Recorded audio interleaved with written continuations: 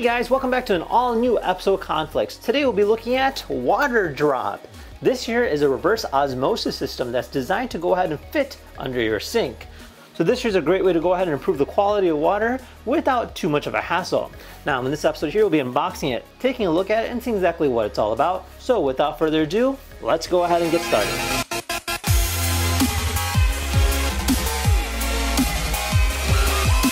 What's up everybody? Welcome back to an all new episode of KhanFlicks. Today we'll be looking at something a little bit different. This here is a reverse osmosis water filtration system.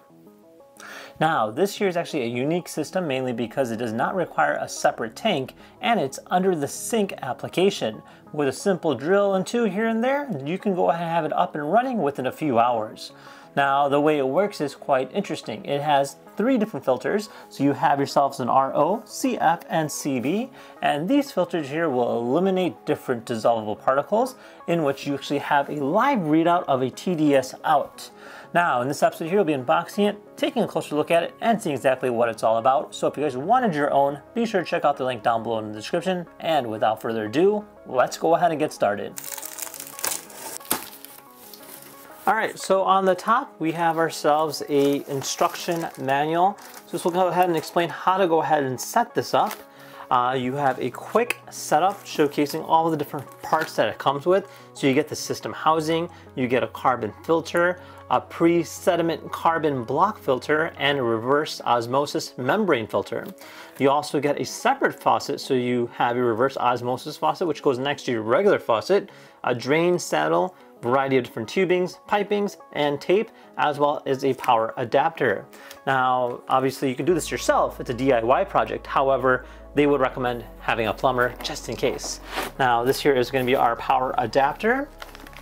Um, and then we have our piping, tubing, as well as our connections. All right, inside here is gonna be our system housing, which is actually a very heavy product. So this here's everything that you get. So first off, you do get your system housing, which is our Waterdrop unit. Now this particular unit almost looks like a PC, which is really cool to see, and it has a very futuristic vibe. Now you do have your three different ports here on the front for filters. So we do have a CF filter, an RO filter, and then a CB filter. And literally it's a plug and play setup, which is really nice. And then you just insert it like this and then you turn it to lock into place, just like that. And just like that, you insert the filters.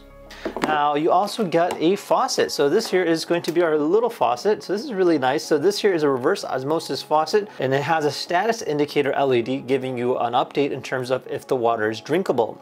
Now on the front here, we do have a TDS counter. So this will talk about how many sediments are actually in the water. The lower the number, the better. And it kind of showcases to you exactly that your Waterdrop is working. Now, lastly, you do get a power adapter, variety of different pipes and uh, cables here to go ahead and connect to it, and that is it in a jiff. All right, so the nice thing about the Waterdrop unit is that it fits under any sink. So what we're gonna do is we're gonna take this guy, set it up, and then we install the piping followed by plugging it in, we can go ahead and now use it. Now on the filtration, it'll showcase exactly what's happening. And then in the top there, it showcases the three different filters that are locked in and loaded. Now, as we kind of use it, you can see on the top here, the LED ring will indicate that it's safe to drink, and overall, it's a very easy concept. So the nice thing is that it has a smart RO system. So based on the color of the ring, it'll determine whether or whether or not the filter needs to be changed. Blue means you're good, yellow means it needs to be replaced soon, and red means it needs to be replaced now. So overall, it's actually a really interesting setup and the uniqueness of this is that you can go ahead and have nice clean water anywhere with a simple setup like this. Now, other than that, if you guys had any questions, feel free to comment down below. Otherwise, thank you again for watching. See you guys next time. Take care now. Bye-bye.